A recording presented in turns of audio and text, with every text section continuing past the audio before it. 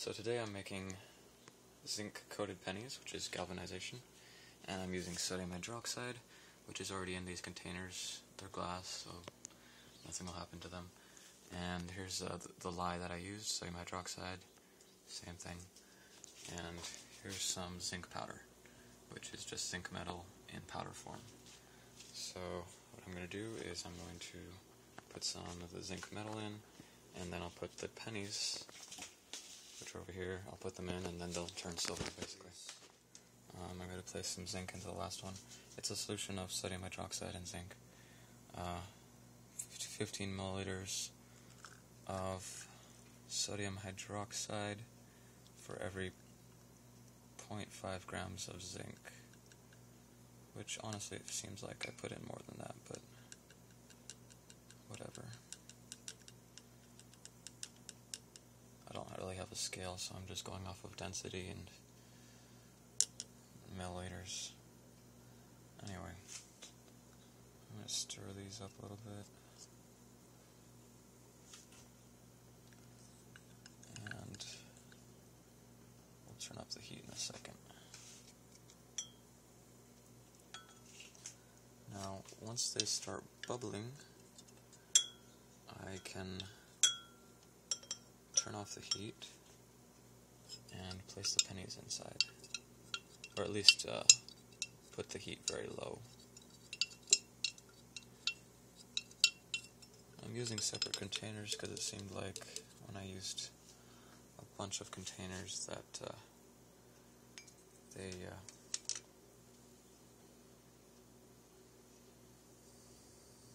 when I used a bunch of containers or a bunch of pennies in a single container it seemed like I didn't get as good results, and the pennies were not as pure.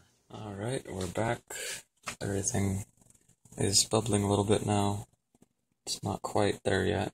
The uh, water under it is boiling. It is, is boiling right now, but uh, the water inside the containers is not yet bubbling, except for the small one, which I suppose since it's smaller, it boils faster. So I'm going to put my first penny in, or technically my second because I already put it in one.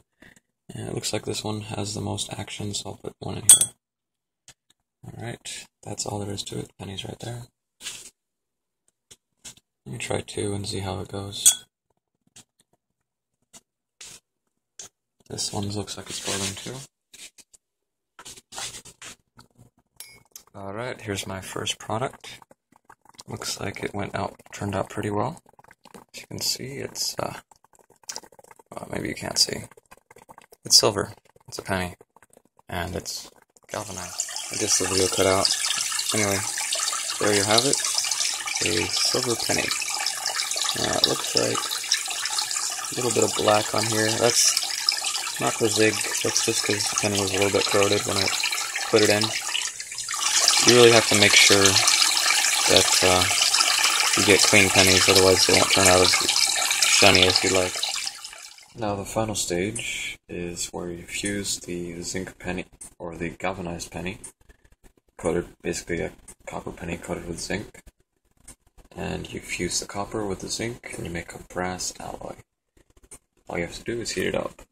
The key is to heat it some, but not too much.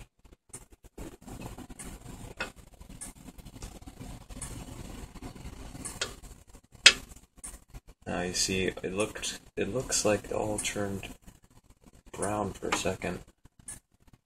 Actually, it's turning gold all at once.